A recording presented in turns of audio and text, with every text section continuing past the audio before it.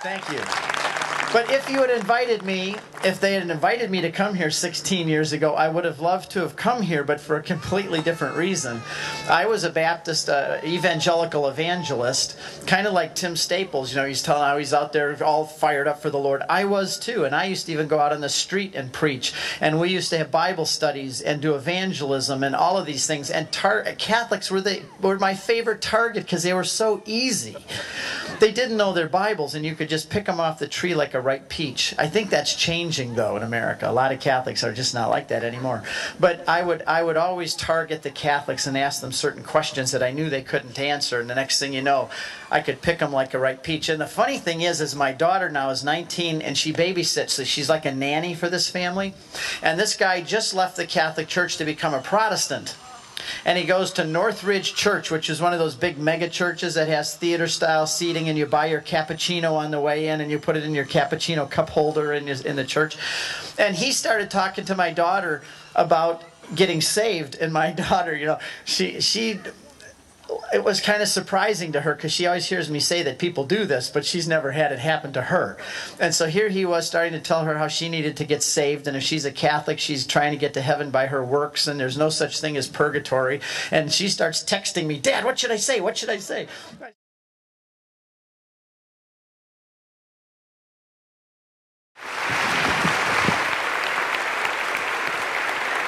Thank you. I want to read a few of their stories so that you understand what these brothers and sisters of ours went through. Things that we've never seen with our own eyes, things we've never experienced, but if you were back in those days, you would.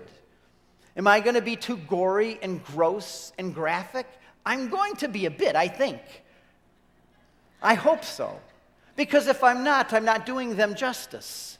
If I sugarcoat it and cover it for Americans, I'm not doing them justice. I want you to understand a little bit of what they actually suffered for us. We're sheltered again.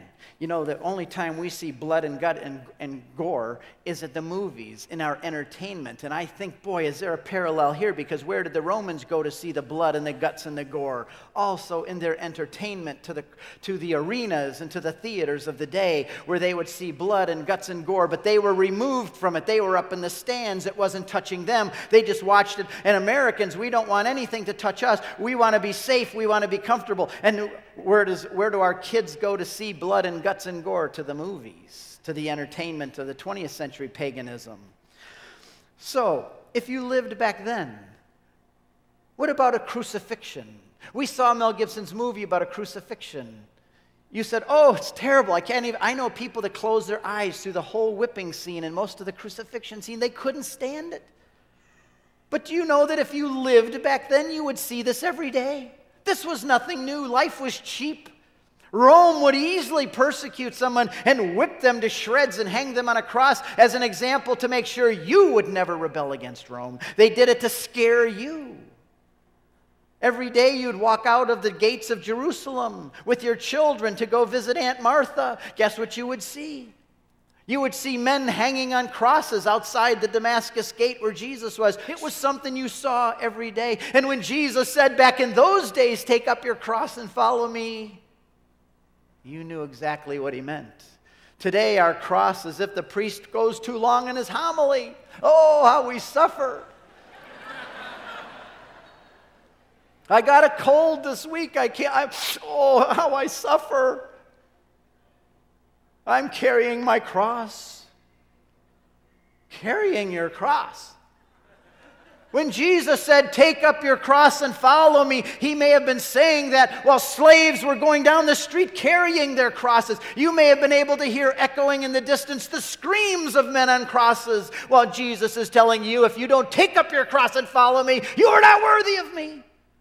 I had a chance to talk to a bunch of seminarians, and I said, You guys, this is a dangerous career you're getting into, young guys, which means in 50 years you're going to be priests. You have no idea what our country and the world could be like in 50 years. You're going to go around with a bullseye on your chest. Are you sure you really want to be priests? And they all said, Yes. The world's going to need men like us in 50 years. We have to raise our kids to be countercultural. We have to have them understand. We need to proclaim to the world who these people were. Protestants need to know who these people were, not only what they did, but what they taught. We need to know them. We need to love them. We need to honor them.